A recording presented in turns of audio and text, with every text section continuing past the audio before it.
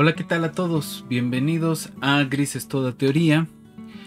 Eh, esta sesión corresponde, es una sesión conjunta de los cursos de Biología Matemática 2 y de Introducción a la Modelación Epidémica. el día de hoy vamos a seguir hablando sobre redes. Eh, estábamos la última vez hablando de eh, este, algunas medidas de centralidad eh, que podemos tener en redes. Entonces, eh, hoy tenemos que hablar un poco sobre agrupamientos, la propiedad de transitividad y la propiedad de este, redundancia y acumulación, que van a definir ciertas métricas que vamos a poder usar en eh, redes complejas. Entonces vamos a hablar sobre componentes y K componentes. Em,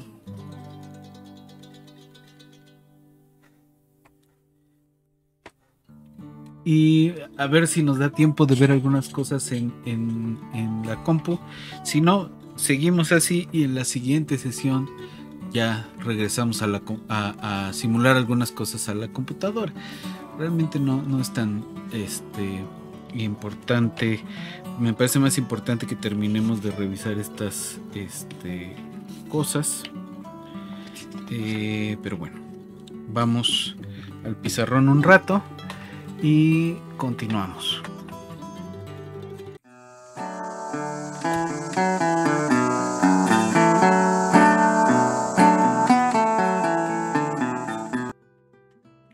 Ok, entonces hay que hablar sobre componentes y comunidades y esas cosas, ¿no? Agrupamientos de, nodos. De alguna forma, em, lo que estamos tratando de hacer es eh, partiendo de una estructura como sea, pues poder detectar eh, algún tipo de comunidad de alguna forma, ¿no? Entonces, eh, una cosa que siempre podemos hacer es qué pasa con los componentes conexos.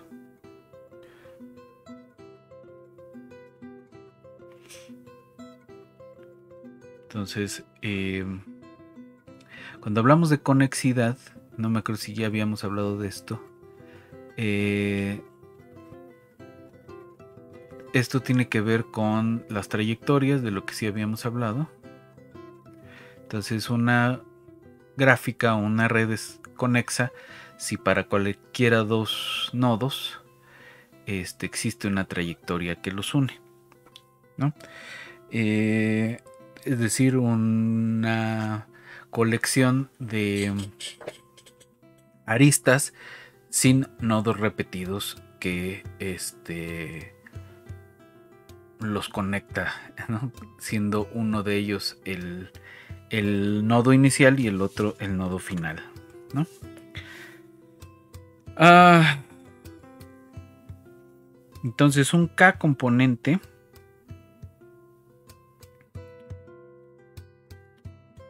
o un K componente conexo es un subconjunto maximal. Entonces un eh, K componente conexo es un subconjunto maximal de vértices o nodos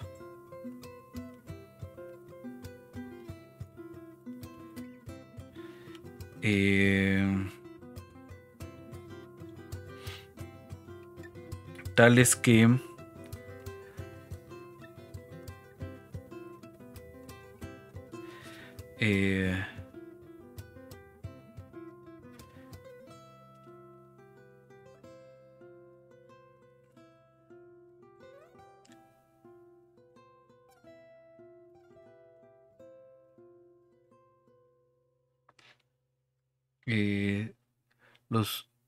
son eh, alcanzables o mutuamente alcanzables más bien. en el sentido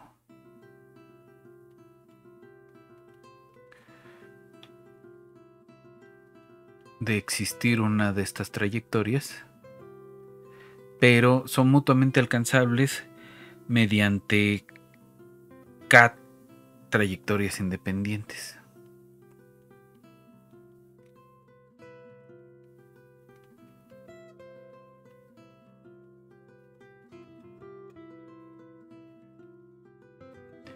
Entonces, cuando hablamos de componentes conexos así simplemente, eh, estamos queriendo decir que hay una única trayectoria que une este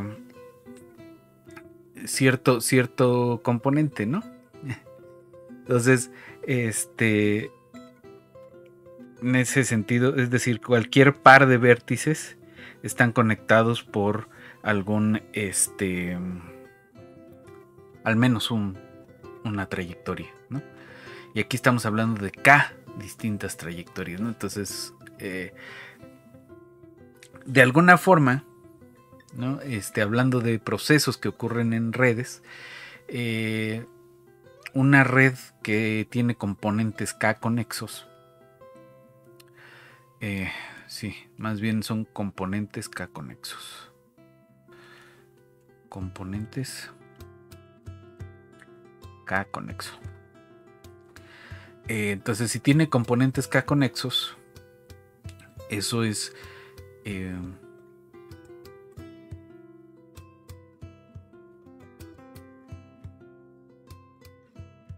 digamos, eh, ese, ese, componente aguanta más un proceso de desconexiones que un componente que solamente es conexo.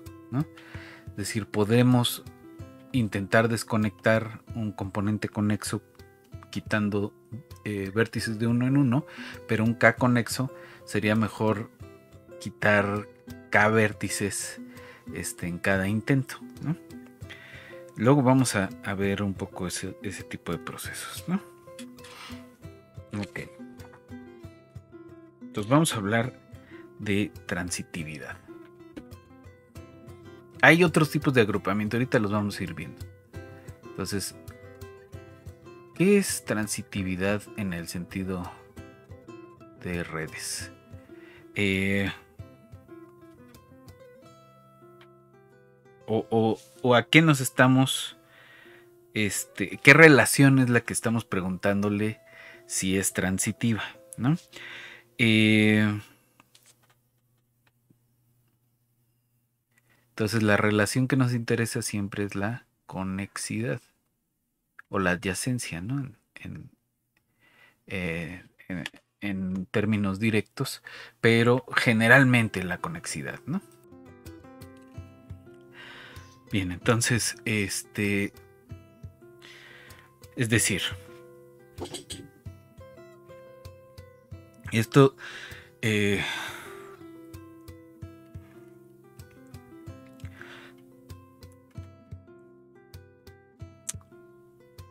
los, la pregunta es, los vértices adyacentes a los vértices eh, vecinos, digamos, a, mis vértices adyacentes, están conexos conmigo, ¿no? O sea, esa es un poco la idea. Eh, en términos generales, este, muy, muy generales, podemos pensar, es el, el amigo de mi amigo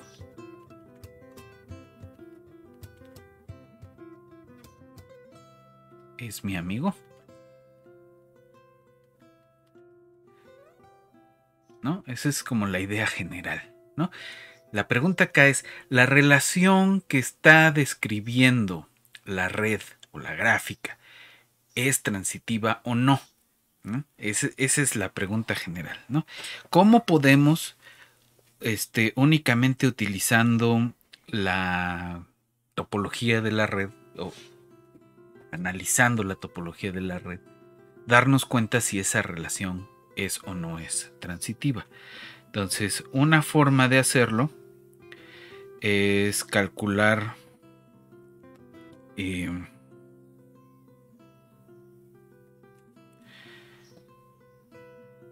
lo que se llama el coeficiente de acumulación.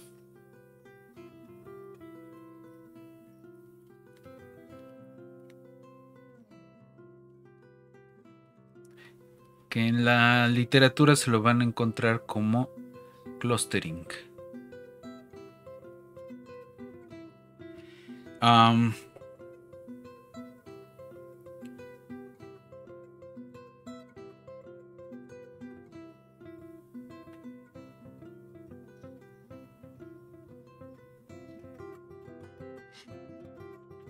Entonces, ¿cómo vamos a medir el coeficiente de acumulación? Este.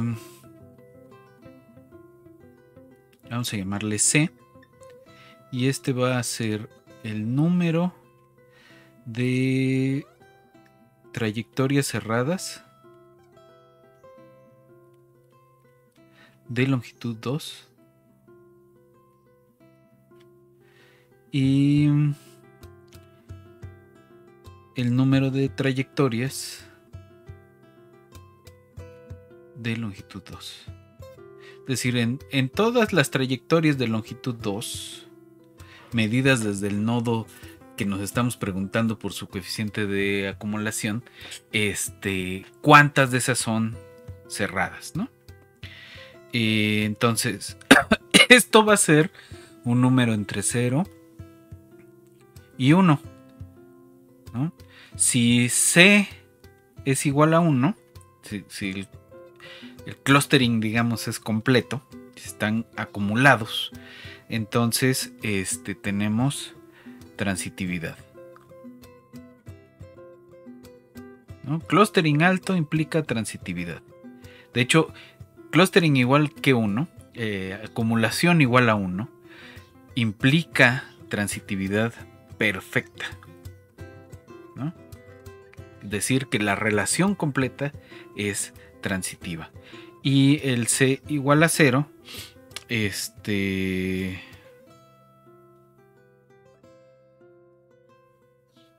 Pues significa que no tenemos transitividad. ¿no? Aquí no hay lo que se llaman eh, triadas cerradas.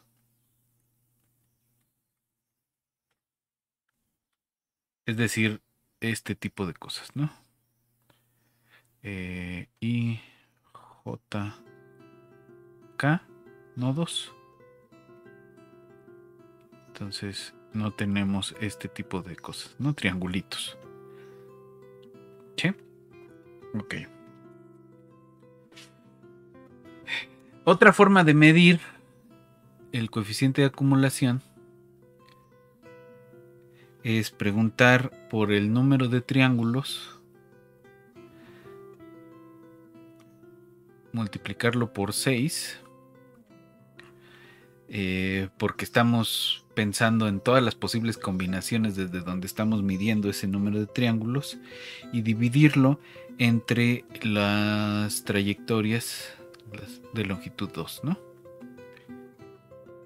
¿no? Trayectorias de dos aristas. Ok. Que es lo mismo que preguntar el número de triángulos por 3 y dividirlo entre la cantidad de tercias de nodos conexas.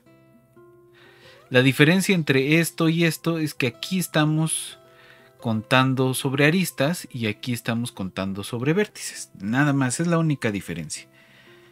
Eh, ahora,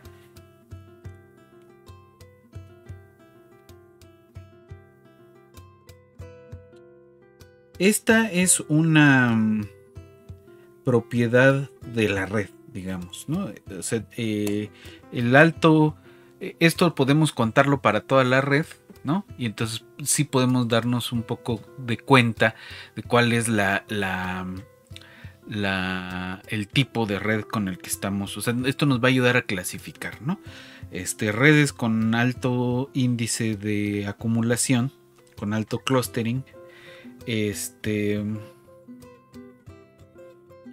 pues tienen características que las otras no.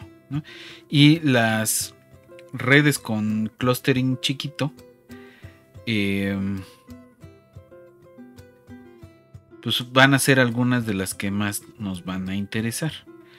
Eh, pero eso vamos a seguirlo comentando. Eh, entonces, de alguna forma, el índice de acumulación nos va a ayudar a describir otro tipo de centralidad. Eh, pero para eso tenemos que este, definir un coeficiente local de acumulación o un clustering local, ¿no? Em, entonces, para cada nodo i, esto va a ser eh, el número de vecinos conexos este vecinos de i que están conexos este número de pares perdón de pares de vecinos de i que están conexos y el número de este pares de vecinos, ¿no? Entonces es un poco la idea. Entonces para calcular la, ese coeficiente local de acumulación tenemos que contar todos los distintos pares de vértices que son vecinos, que son adyacentes a la I y luego contar el número de esos que están conectados entre sí, ¿no? Los amigos míos se conocen, ¿no? Están en la misma relación, ¿sí? Eh, ok.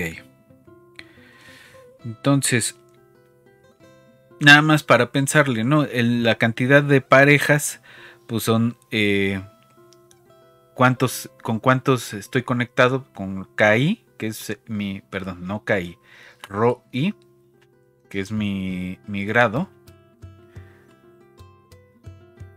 Rho I, Rho de I. Eh,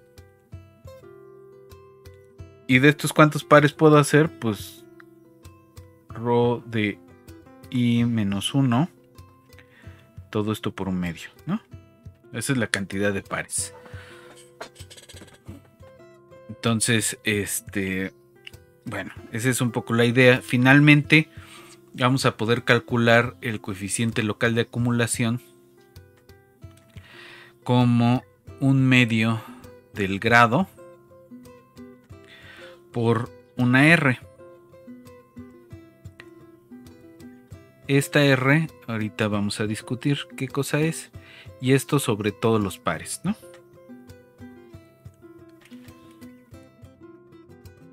rho de i por rho de i menos 1. Esta RI eh, es una medida de redundancia, se le llama.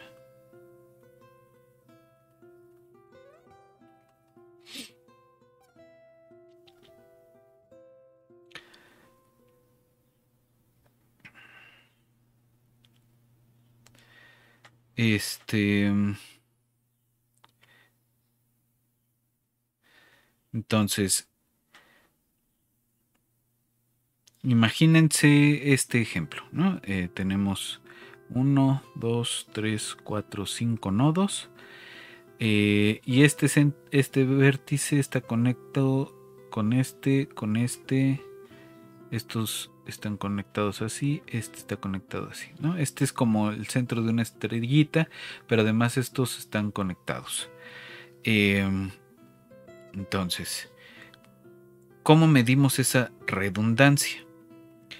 La redundancia es la media de las conexiones de un vecino de I a todos los otros, ¿no? Es decir, el promedio aritmético. o la media, media aritmética de eh, conexiones entre los vecinos, ¿no? Entonces, tenemos cuatro vecinos.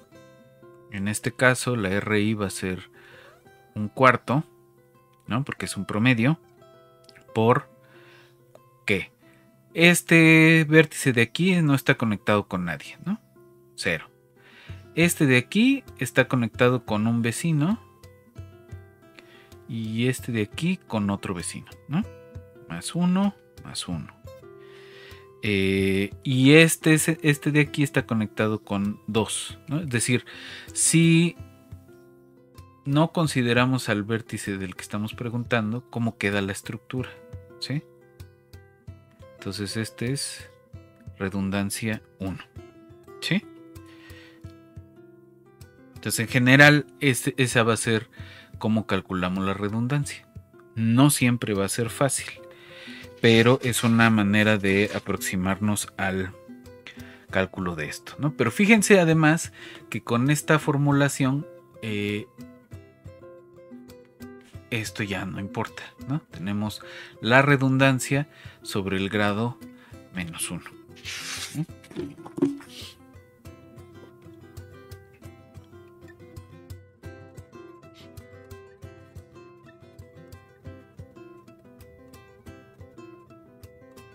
Y entonces podemos calcular el coeficiente de acumulación de toda la red como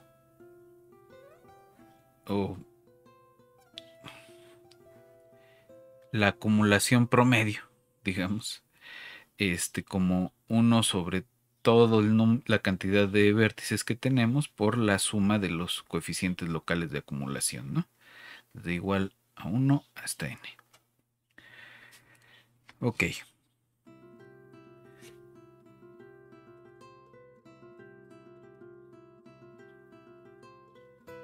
Bien. Entonces, em, bueno, es lo que tiene que ver con el coeficiente de acumulación. Hay, eh, pues hay distintas formas, como vieron, de calcularlos. Hay distintas aproximaciones. Y eh, pues ahí vamos a tener que echarnos un tiro con distintas formas de calcularlo. Eh, tanto dentro de Python como dentro de Gephi y demás cosas que estemos utilizando. ¿no? Ok.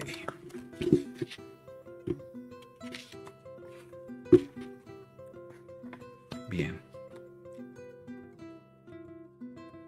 Entonces, Ah. vamos a ver un poco sobre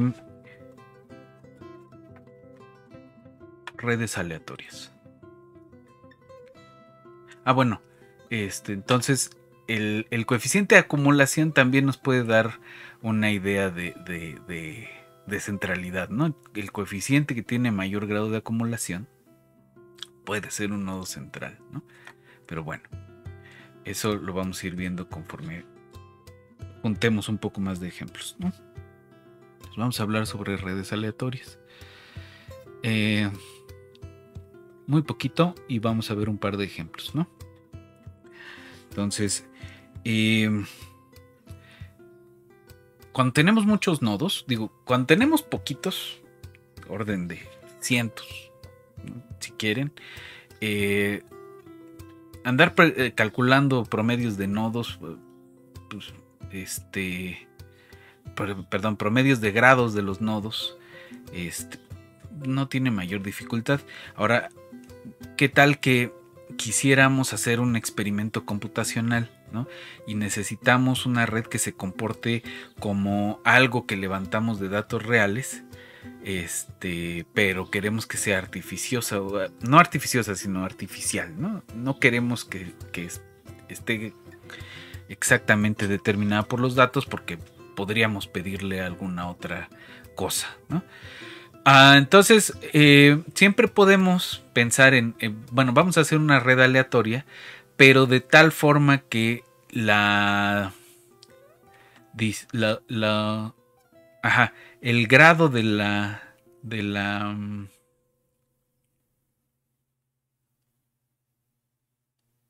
de los nodos sea una variable aleatoria, ¿no? Entonces, que el grado promedio, digamos el ro con gorrito, se distribuya como alguna cosa, ¿no? Como alguna distribución, ¿no? La que sea. Eh, como una uniforme, como una binomial, que bien podemos llamarle este Rodeca, ¿no? Aquí esta va a ser una variable aleatoria que representa este pues el promedio de los, de los grados que estamos buscando. Entonces, eh, podemos aproximarnos a esta cuestión de modelaje con una función generadora, digamos una g de z que va a ser el siguiente polinomio. P0 más P1 de Z más este, no sé, Pn de Z, N más bla, ¿no?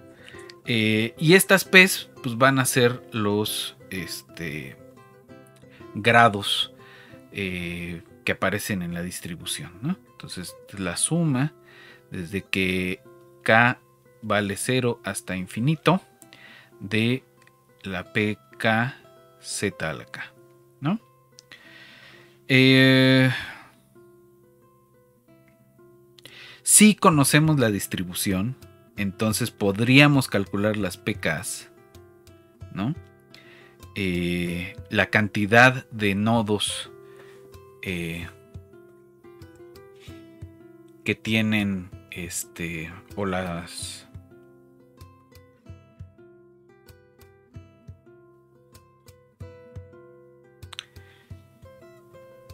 las pruebas, perdón, de, de que los nodos tengan o de que un nodo cualquiera tenga este grado K.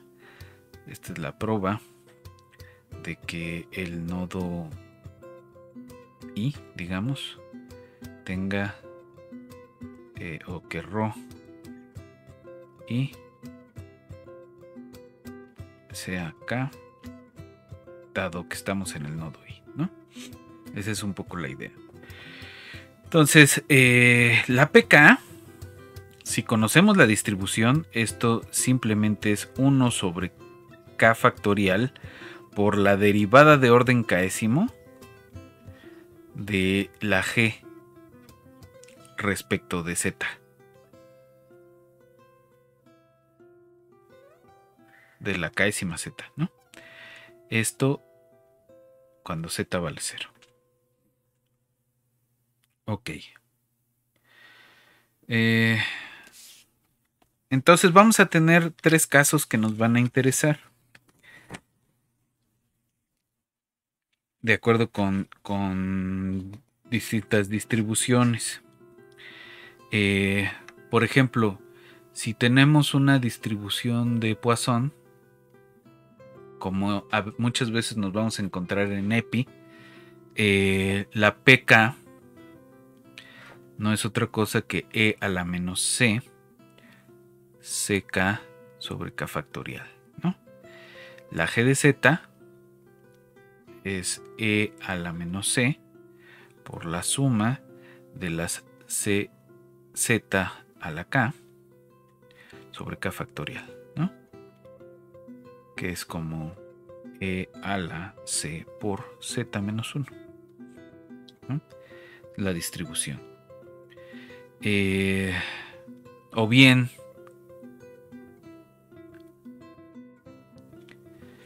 Eh, esto si, fuera una exponencial, la pk eh, podría ser de la forma c por e a la menos lambda k. Y esto de aquí significa que la g de z, eh, podemos hacer los cálculos, pero Esto básicamente sea la lambda menos 1 sobre E a la lambda menos Z. ¿no? Em, si tenemos leyes de potencia,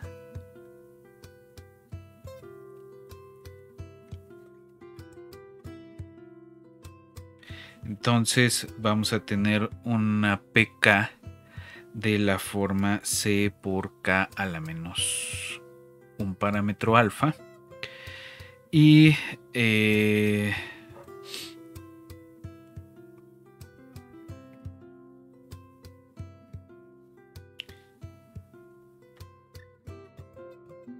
la g de z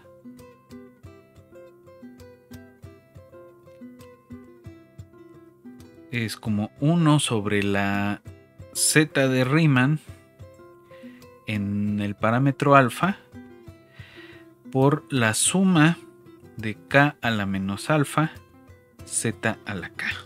¿no? Eh, y luego podemos tomar este, polilogaritmos y, hacer varias cosas. De momento no, no me interesa mucho este, caer en eso. lo que me interesa es describir un modelito que se llama el modelo de configuración.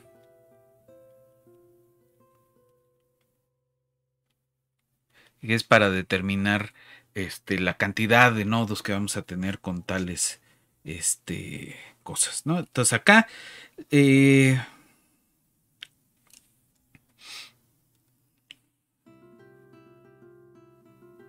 eh, vamos a tener una sucesión de grados eh,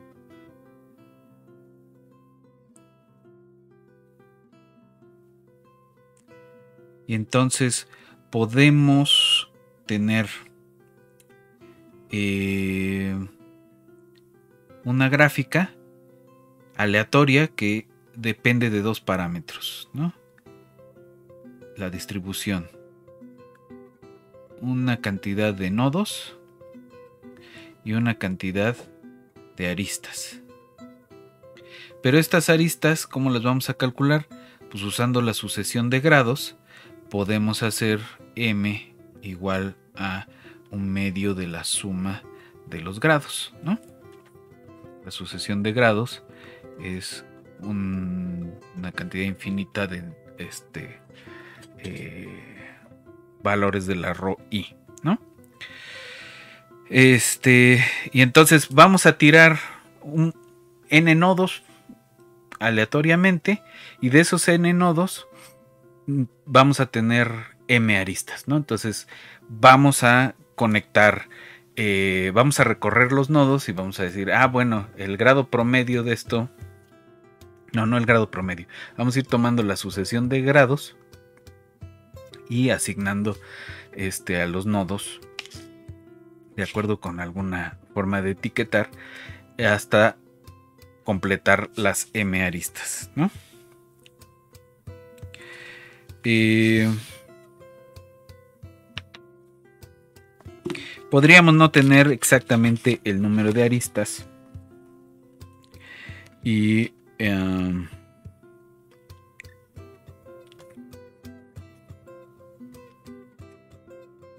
tener otro tipo de, de algoritmo si preguntamos este n nodos los son nodos y una ro con gorro que sea el grado promedio. Entonces tenemos una distribución, tenemos una media y podemos ir más o menos generando las cosas. Ahora, hay eh, algunos algoritmos especiales digo, el modelo de configuración es la forma más general de hacer una red este, conectada de, n nodos que conectamos de forma aleatoria. Este, y hay que hablar un poco más de, un par de cosas aquí para ah, hacer algunas descripciones más adelante. Pero eh, le voy a parar aquí. Este, Y lo que quiero que veamos es en... Ah, bueno, la próxima sesión no vamos a continuar este, tanto con la... No vamos a continuar con la teoría. Este, aquí vamos a bifurcar ya de nuevo los cursos. Este, y vamos a ver algunos ejemplos en NetLogo. Ya cada ejemplo orientado a, a lo que me interesa ver en cada uno de los cursos. Eh, y a partir de ahí vamos rellenando lo que haga falta para cada uno de los cursos, ¿no? Entonces, por hoy le vamos a parar aquí y nos vemos en una siguiente sesión.